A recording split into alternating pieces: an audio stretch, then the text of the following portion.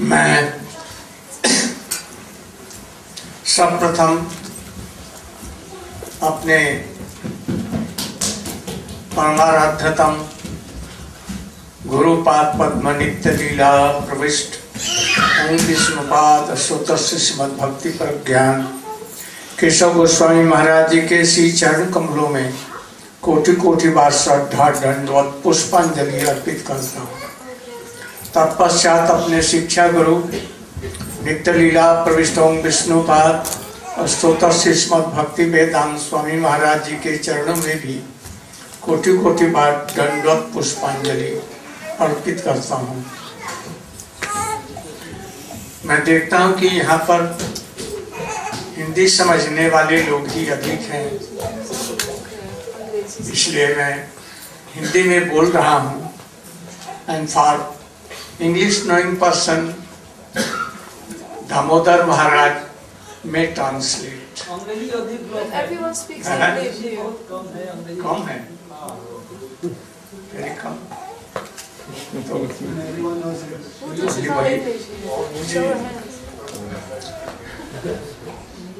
तो मैं सबसे पहले इस मंदिर के व्यवस्थापकों को मैं धन्यवाद देता हूँ, जो कि हम लोगों के लिए सात दिनों के लिए इस मंदिर को, इस मंदिर में हरि कथा कहने के लिए, भागवत कथा कहने के लिए हमें स्थान दिया है और जिन लोगों ने यहाँ पर भगवान की कथा कहने के लिए इसको सजाया है। अच्छी तरह से इसको बनाया है। इसके लिए जो आयोजन करने वाले हैं सबको मैं धन्यवाद विशेष करके देता हूँ। कृष्ण जगत में प्रकट हुए थे। अलग अलग अपने भक्तों की मनोवांछा पूर्ण करने के लिए वे कंस के कारागार में देवकी के गर्भ से भी प्रकट हुए और गोकुल में नंद बाबा जसोदा के, विशेष करके जसोदा के गर्भ से भी प्रकट हुए। केवल मथुरा में ही प्रकट हुए, ऐसी बात नहीं। बल्कि आंशिक रूप में वे शंख चक्र गदा पद्म लेकर हाथों में नारायण के रूप में आविर्भूत हुए, गर्भ से पैदा नहीं हुए। उनका गर्भजात संस्कार भी वहाँ नहीं हुआ। भला सोलह वर्ष की अवस्था जैसे वाले चक्र गदा पद्म धारण करने वाले नाना प्रकार के आभूषणों से सुसज्जित उनका जन्म कैसे हो सकता है? प्रकट हुए। और गोकुल में जसोदा मैया के गर्भ से प्रकट हुए उनका वहाँ पर नाड़ी छेदन हुआ, संस्कार हुए। वहाँ पर नंद बाबा ने आनंद में भरकर करोड़ों करोड़ों गौओं को दान किया और सब नाना प्रकार के जो कुछ उनके भंडार में था, वो तो श्री जी वहाँ पर थी। कोई भंडार में कमी नहीं गई दान करते करते करते थक गए। कोई लेने वाला भी नहीं रहा, ऐसा महामहोत्सव वहाँ पर हुआ। इसलिए कृष्ण ने पूर्ण रूप में, स्वयं भगवान के रूप में द्विभुज मुरलीधर के रूप में, द्विभुज, एक छोटी सी शिशु जैसे वहाँ पर प्रकट हुए। और यहाँ पर आविर्भूत हुए। इसके बाद में उन्होंने ब्रज में उतना तृणावर्त सप्तासुर, अगासुर, बकासुर इत्यादि राक्षसों का उद्धार किया। इस तरह से उन्होंने अंत में वृंदावन के बंसी भट्ट में राशि इत्यादि किए गोपियों के साथ में नृत्य गीत किया। मधुर लीलाएँ की। और इसके बाद में द्वारकापुरी की लीलाएँ सब हुई। किस लिए कृष्ण आए? आने का तात्पर्य उनका क्या था? आने का तात्पर्य यह था कि हम भगवान के नित्य दास हैं। उनकी सेवा को भूलने से हम लोगों को माया ने पकड़ करके इस संसार रूपी जेल खाने में फेंक दिया। हथाकड़ी बेड़ी लगा दी। हथाकड़ी बेड़ी क्या? यह स्थूल शरीर देकर, ये मैं हूँ, ये मेरे हैं। ये बेड़ी को पहना दिया, आसक्तियों से जकड़ दिया। और फिर इस शरीर को सुखी होने के लिए सारा जीवन कार्य करता है। रुपए पैसे कमाता है, अंत में बूढ़ा हो जाता है। चल फिर नहीं सकता तरह तरह के रोग हो जाते हैं। अंत में इस पंच भौतिक शरीर को छोड़ देता है। साथ क्या ले जाता है कमाई का? एक पैसा भी साथ में लेकर नहीं जाता। उसके पुत्र, उसकी पत्नी, संसार का कोई भी उसके साथ में नहीं जा पाता। कहा जाता ये भी ठीक नहीं। फिर दूसरा जन्म, गधे घोड़े सूकर कुकर के रूप में आता है, कभी स्वर्ग में जाता है, कहीं भी उसे सुख नहीं मिलता। बिना भगवान की सेवा से कोई नहीं सुखी हो सकता। भगवान देखते कि हमारे प्यारे जीव, हमारी सेवा छोड़कर मृग तृष्णा में इधर उधर घूम रहे हैं, करोड़ों जन्म ले रहे हैं, मर रहे हैं। इनको कैसे सुखी किया जाए? इसलिए कभी वे स्वयं आते हैं, कभी अपने अवतार के रूप में, राम जी सिंह कलकी बामन के रूप में आते हैं। और कभी कभी अपने परिकरों को आचार्य और गुरु के रूप में जगत में भेजते हैं। जो हमारा स्मरण दिलाए। और देखो तुम लोग, ये शरीर नहीं है। इसके अंदर में आत्मा हो। इसके अंदर में जीवात्मा भी है। तुम उनके नित्य सेवक हो। भूलने के वजह से तुम्हारी ये दशा। इस प्रकार से उनसे सुन करके गुरु के निकट जाएँगे, उनसे हरिनाम दीक्षा लेंगे और तत्पश्चात भक्ति के अंगों का पालन करते करते करते करते पहले उनको साधन भक्ति होगी, फिर भाव भक्ति होगी, अंत में प्रेम भक्ति होगी और भगवान के चरण कमलों की सेवा प्राप्त करके सदा के लिए सुखी हो जाएँगे। आवागमन का मार्ग सदा के लिए उनका बंद हो Damodar Maharaj. We go to Chandra Radhika Tadali Krishna Krishna Bhakta Tadavakte Namo Namaha. So Sri Gurudev is first giving his regards and blessings and well wishes to the people, the organizers of this society. Also he gives his heartly blessings to those who have endeavored very hard to decorate the hall, who've made arrangements for the guests in the form of prasad and edibles. He gives them all their heartly blessings. So Gurudev says before he begins everything, he offers his pranam to lotus feet of his, his Gurudev, Nichilila Parisila Bhakti Pragyan Kesav Goswami Maharaj. Gurudev said even though so many English people are there, uh, still many Hindi persons are there, and these things are very difficult to explain in English, so Gurudev is speaking in Hindi. There he said, why the Supreme Lord has come to this world.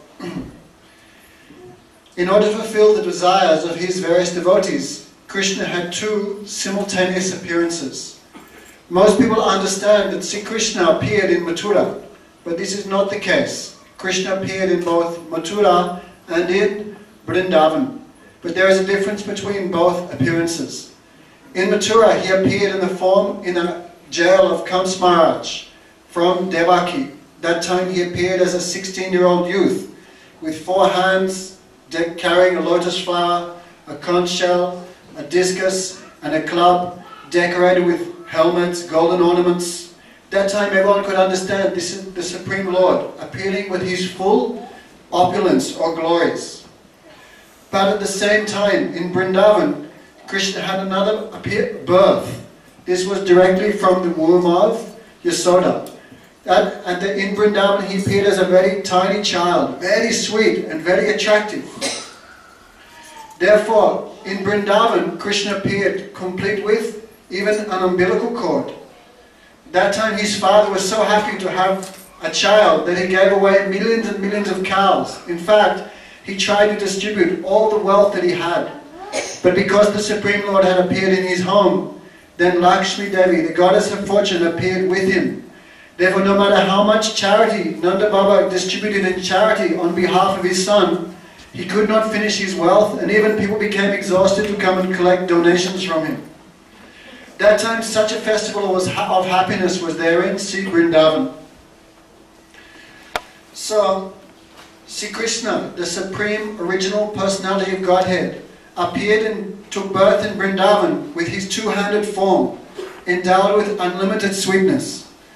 There in Vrindavan he performed pastimes like delivering demons such as Putana, Agasur, Bakasur and others. Then he grew up, he matured as we say, and then finally in Vrindavan he performed his pastimes such as Ras Lila. By calling his flute he attracted all the gopis. Then from there he went to Dwarka and performed unlimited activities. But really the question comes, why does the Supreme Lord come to this material world? Because he knows that we are actually his eternal servants. But because of forgetting him, we are rotating in the cycle of birth and death. Forgetting him, we have become bound by ignorance. Therefore, we have been chained to this world. What is the chains of this world? That is this gross material body made of earth, water, fire, air, and ether. What are the chains that bind us to this world? This is our attraction to our wife, sons, children, wealth, home, kin, country, etc. Therefore, we have forgotten our position as an eternal servant of the Supreme Lord. And now the souls in this world are thinking, I am this body, and what belongs to this body is mine. Therefore, old age comes, and finally we have become afflicted by many, many diseases. And all the wealth, wealth which we have worked so hard to accumulate at the time of death is taken from us. At the time of death, even one dollar we cannot take with us. And our wives, our children, our family members all remain here. And even where we go at the time of death, there is no guarantee. Therefore, and then we even may take birth in lower species of life, like dog, pig, camel. Even we may go to the higher planets or the lower planets, but all are places of birth and death. Therefore, the Supreme Lord knows perfectly well, without His service, there can be no enjoyment, no real factual happiness at all. Therefore, He comes to this world with this message. O my beloved souls, who are thirsting for enjoyment, looking for happiness everywhere, you should come and offer your hearts completely to me, then you will be happy. Therefore, the Supreme Lord comes Himself in the form of Sri Krishna, or He appears in the form of His incarnations like Ram, Nrsingadev, Barman, etc. And sometimes Sri Krishna sends His own devotees who appear in this world in the form of devotees, Gurudev, and the, the spiritual masters. And Bhagavan and His devotees come with this one message. We are not this body. We are soul, eternal servants of the Supreme Lord. And forgetting this, we are rotating in this world of birth and death. Therefore, hearing this message, a fortunate person can come to the feet of bona fide spiritual master and from him take initiation in the process of chanting the holy name Gradually, by the guidance of the spiritual master and by the influence of the name of the Supreme Lord, one develops faith in devotion. As that faith matures, it turns into the stage of preliminary ecstatic love of Godhead called Bhava Bhakti, and finally it matures into complete pure love of the Supreme Lord, which is known as Prema Bhakti.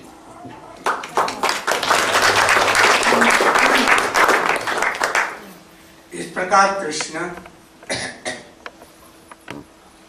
संसार में बहुत तरह की लीलाओं को करके पश्चात वे अपने अप्रकट नित्य गोलोक वृंदावन धाम में चले गए। उसी समय में, जिस समय गए, उसी समय में कलयुग आया। अभी कलयुग चल रहा है।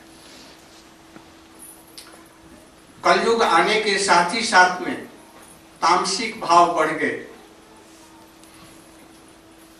लोगों के भाव बदल गए।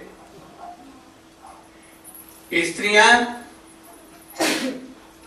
बदल गई, उनका स्वभाव भी बड़ी दुराचारी, दुराचार रहने लगी। पुरुष भी अपने धर्म को छोड़ वो भी व्यभिचारी हो गए।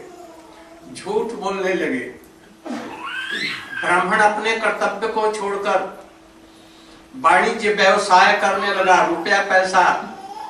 बस इसी के आमदनी में रह गए। शूद्रों का राज होगा, मंदिर टंदिर सब टूटेंगे। भयानक स्थिति होगी। उस समय में भारत पर क्या संसार के जितने भी ऋषि महर्षि थे, साठ हज़ार ऋषि। डर के मारे दंड नमीशारण्य में पहुँचे। गोमती के किनारे, बहुत ही पवित्र स्थान है नमीशारण्य वहाँ पर हज़ारों ऋषियों ने, ब्रह्मा ने और सब लोगों ने बड़े बड़े यज्ञ किए हैं। वहीं पर आए और सत्र लगाया।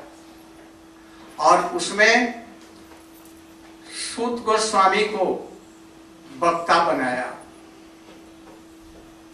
उन्होंने सूत गोस्वामी से कहा हे सूत गोस्वामी, आप अपने गुरु सुखदेव गोस्वामी से समस्त शास्त्रों का सार वेदांत सूत्र सुना है और उसकी व्याख्या के रूप में अकृत्रिम भाष्य श्रीमद् भागवत को सुना है। ये भागवत समस्त वेद, उपनिषद, शास्त्र रामायण, पुराण इत्यादि इतिहास, महाभारत, राम इत्यादि सबका सार है।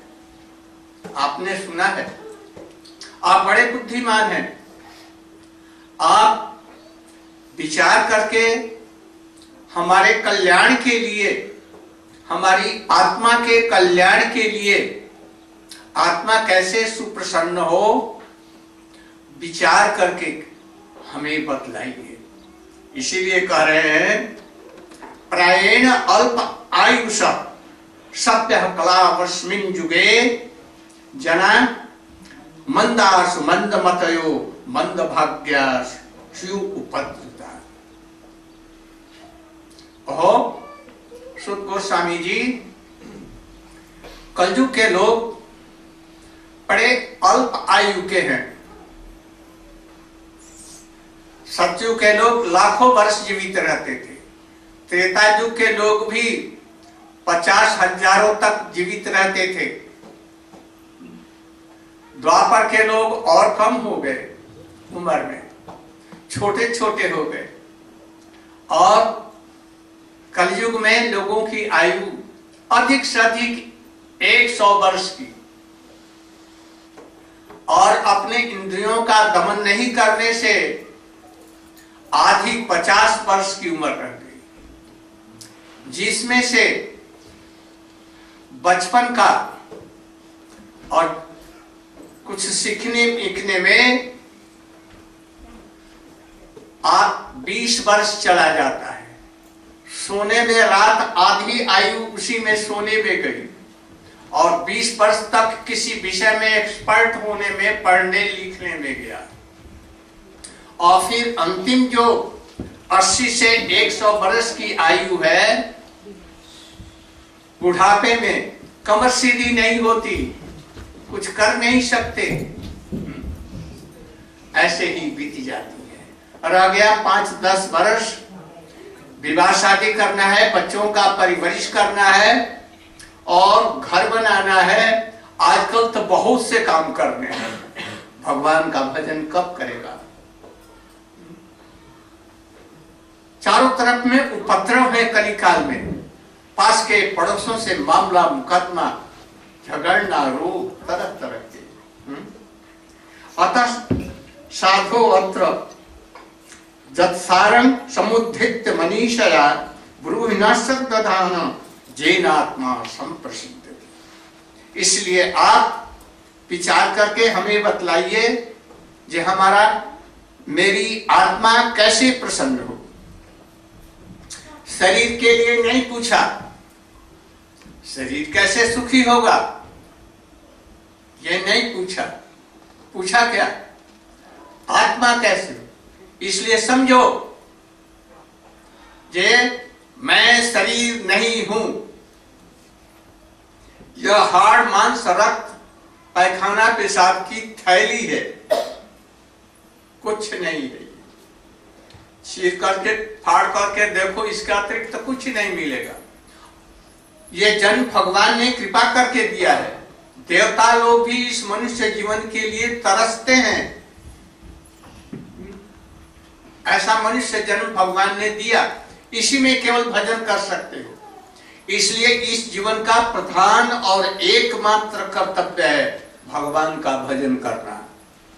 जो लोग संसार में उलझे हुए हैं अपने इस मूल कर्तव्य को समझ करके वो बड़े मूर्ख है। भगवान ने केवल एकमात्र अपनी आत्मा को, परमात्मा को जान करके और परमात्मा जीवात्मा में क्या संबंध है इसको जानने के लिए दिया। भोगों को भोगने के लिए नहीं, रुपया कमाने के लिए नहीं। क्यों? ये तो कुछ भी तुम्हारे साथ में नहीं जाएगा। किस लिए गधे के समान इतना दिन रात परिश्रम कर रहे हो, जिसको तुम साथ में नहीं ले जा सकते? इसलिए, प्यारे, हमारे प्यारे प्रिय लोग, आप लोग इस जीवन को इस प्रकार से भोगों में मत कटाइए। अंततः कुछ समय निकालकर उसको जानने की चेष्टा कीजिए। उसको जानना कठिन नहीं है, क्योंकि हमारा वो पिता का पिता है, अपना है। बस कह दो, हे प्रभु, मैं तुम्हारा हूँ। मैं तुम्हारा हूँ, तुम हमारे हो, और कुछ नहीं। और भगवान ने अपनी सारी शक्ति, सारे गुण, और सारी कृपा नामों में भर दी है कलयुग में। इसलिए कलयुग केवल नाम आधार। कलयुग में नाम के अतिरिक्त और कोई गति नहीं है। खाते पीते समय, चलते फिरते, उठते बैठते, सोते दिन में, रात में, सवेरे, शाम को धीरे धीरे माला से बिना माला के ड्राइविंग करते हुए हरे कृष्ण हरे कृष्ण, मन ही मन में करते हुए चले। रसोई बनाते हुए भी कोई कर सकता है। In all respect in all ways a man can do bhajan very easy किंतु हम मूर्ख समय पाकर के इतना सहज एक पैसे का खर्च नहीं है हरिनाम करने में। और हम मूर्ख जीव ऐसे नाम को नहीं करते हैं। दिन रात जो हमारे काम में नहीं आएगा, जीवन को बर्बाद कर देगा। उसमें अपना सारा समय व्यतीत कर देते हैं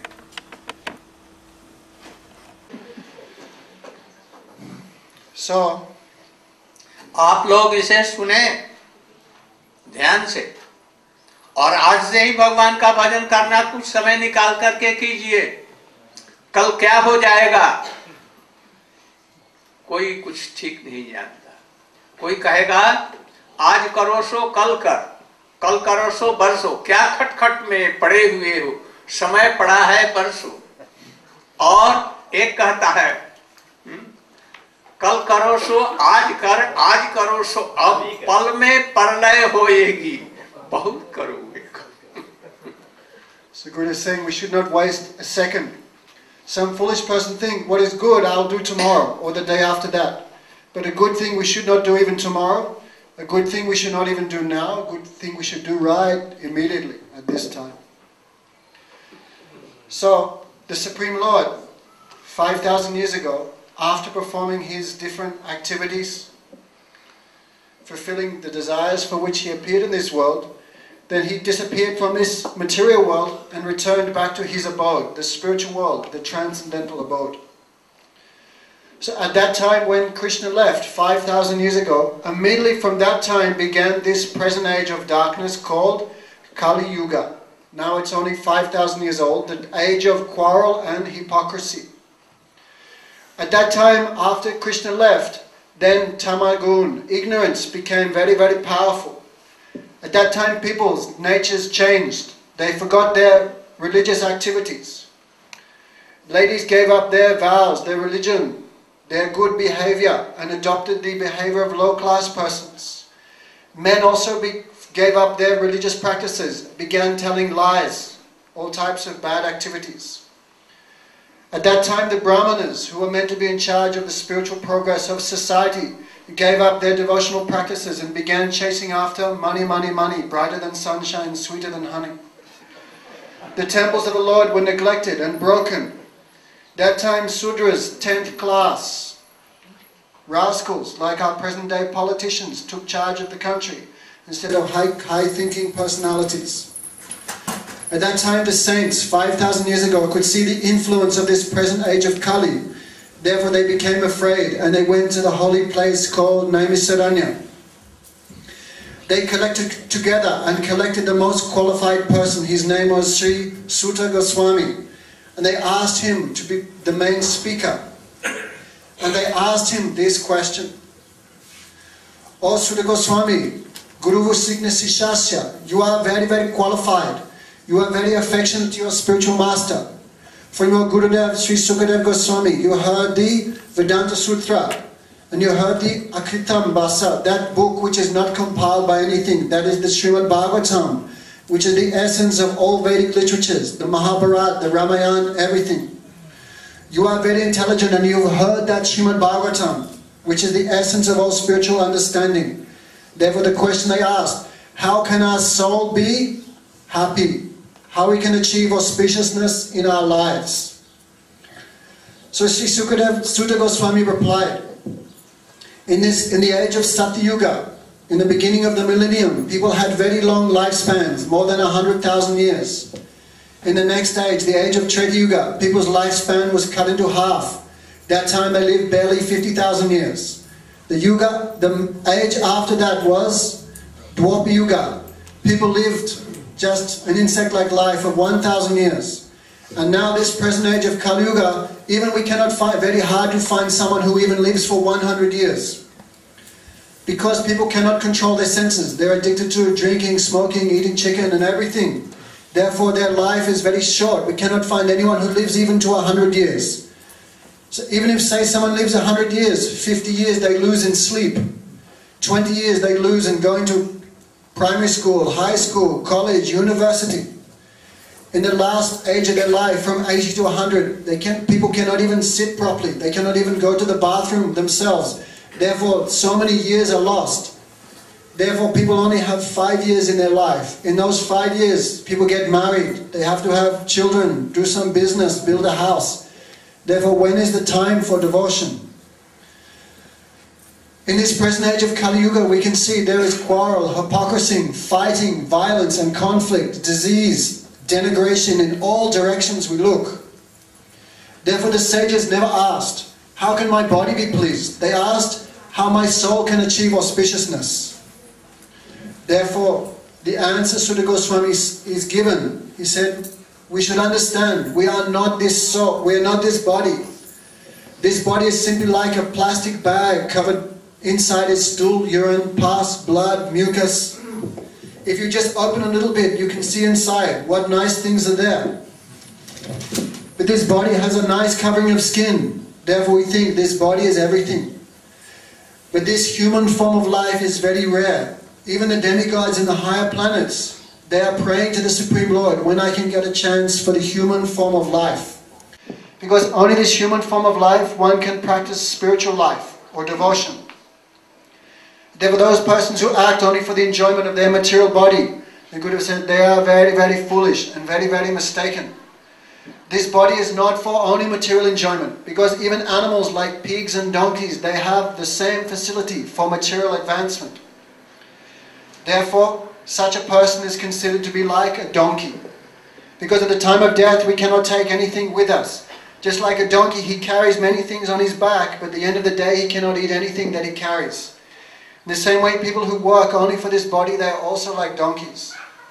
Therefore, said, My dear beloved friends, we should take some time out from our material activities and try to invest some time in our spiritual life. We should try to understand what is the relation, the eternal relationship between the individual soul and the Supreme Soul called God. Therefore, the Supreme Lord, He is so kind. He has invested all His potency, all His strength, all His mercy, all His beauty, all His sweetness. He has given in the name Kali Yuga to Keval Nam to Ada. In this age of Kali Yuga, there is no other process except the process of chanting the holy name. A person who does not take advantage of such a process, they are definitely the most unfortunate. They have been cheated and they are cheating themselves. Guru says because it's very easy and free. Hare Krishna, Hare Krishna, Krishna Krishna, Hare Hare, Hare Ram, Hare Ram, Ram Ram, Hare Hare. It's free and very easy. You can chant anytime in the bathroom, driving, cooking, sleeping, walking, talking. You can always chant. Therefore, one should perfect one's human form of life by becoming attracted to this process of chanting the holy name.